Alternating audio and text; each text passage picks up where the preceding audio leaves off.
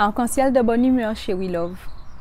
Je te fais la deuxième partie sur cette vidéo de tout ce qui concerne le baptême, comme on le connaît.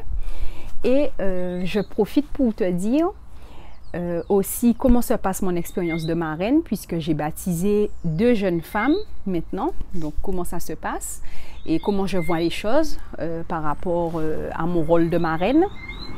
Et pour conclure, euh, je ne suis pas entrée dans les détails lors de la première vidéo, mais je vais te parler euh, du baptême civil. Pourquoi un kamit conscient? Et même un kamit qui n'est pas conscient, donc tu n'as pas besoin euh, d'être forcément conscient pour ne pas faire un baptême civil, mais pourquoi ça n'a pas de sens en fait de le faire? Et que comme le baptême religieux, c'est une insulte à nos ancêtres d'accepter de faire le baptême civil. Donc en gros, pas de baptême civil, pas de baptême religieux. Je commence. Tout d'abord, le baptême religieux. Donc moi, j'ai été baptisée catholique. Donc je me souviens, à l'époque, euh, j'avais 4 ans. C'était en 1989. Donc je me suis fait baptiser à l'église catholique de Belle-Lambert. Donc, euh, comme tu le sais, je ne dis plus les noms de communes commence par saint ou sainte. Puisque je suis bête et disciplinée, nous vivons dans un État qui se dit laïque. La France se dit laïque. Donc pourquoi on a des noms de communes saint, sainte, donc des noms de communes religieux? Ça n'a pas de sens.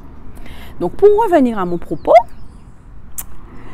j'ai été baptisée à l'église catholique de Belle-Lambert en avril 1989. Et euh, en regardant encore mes photos de baptême, je me rends compte comment ça a dû être une expérience traumatisante pour moi.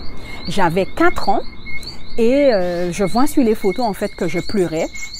Et sur les photos, je vois que le prêtre, il me mouille avec de l'eau dite bénite.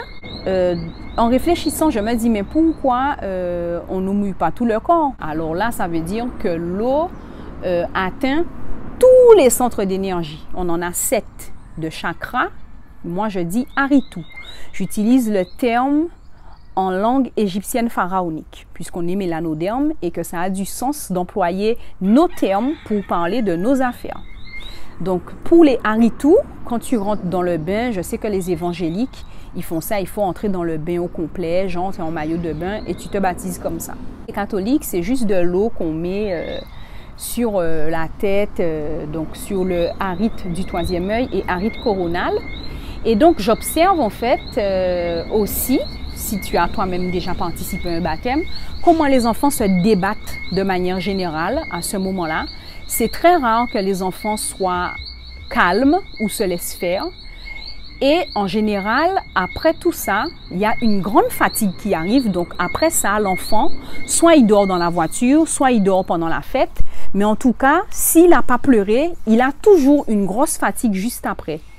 Et moi, en réfléchissant, je me dis en fait, ce qui se passe, c'est que la personne qui sert de prêtre, parce que à l'église c'est toujours un prêtre, j'ai jamais vu de prêtresse, c'est toujours des hommes, parce que bien sûr, hein, euh, ça relève euh, de la culture occidentale et c'est le patriarcat, donc forcément c'est toujours un prêtre.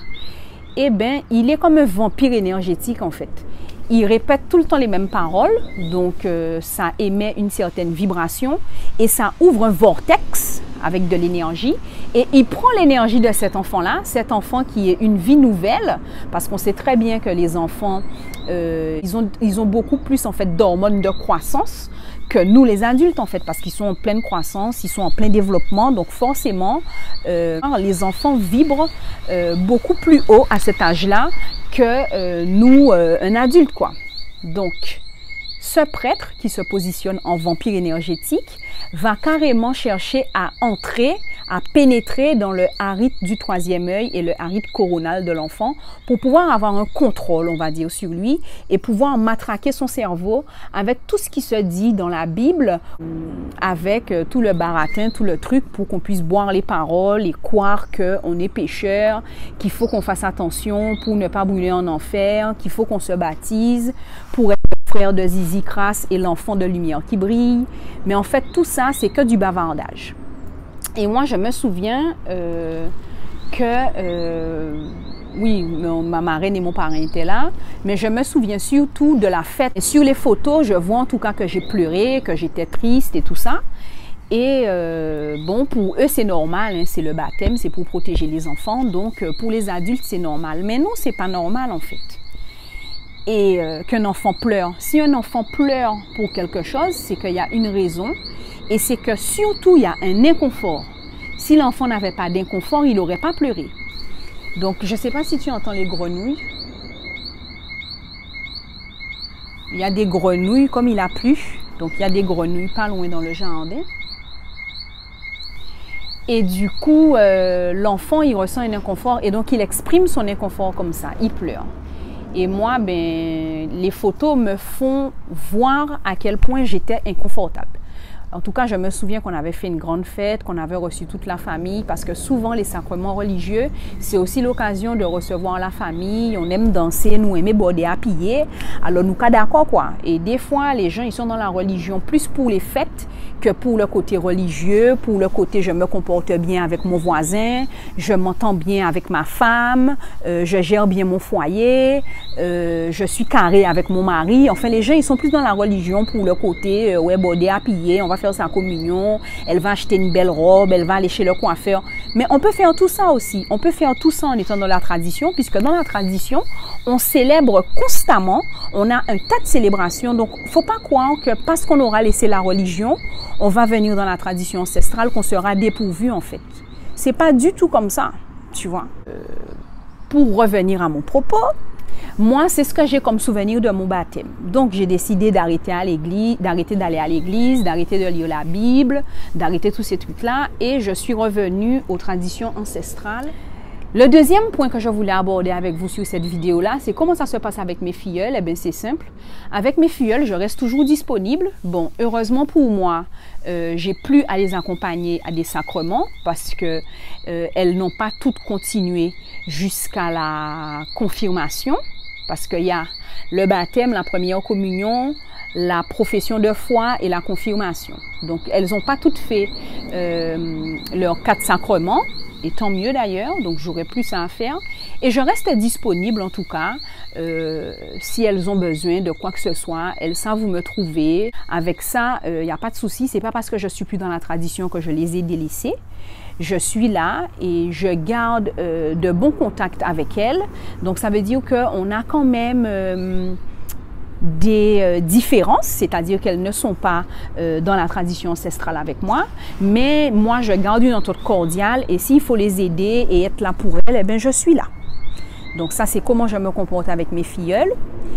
Et le dernier point que je voulais aborder avec toi, c'était le baptême civil pourquoi le baptême civil, euh, c'est aussi un moyen d'être un trait pour ses ancêtres, exactement comme le baptême religieux, parce que le baptême civil, c'est un baptême que la République française approuve. Et comment on peut laisser la République française approuver le baptême de notre enfant, alors même que c'est cette République française qui nous a colonisés? Donc, pourquoi euh, c'est un problème? C'est un problème parce que la colonisation ne nous a aidés en rien. Bien au contraire, on est toujours des sous-hommes pour les gens euh, qui sont de fervents euh, admirateurs de la République française.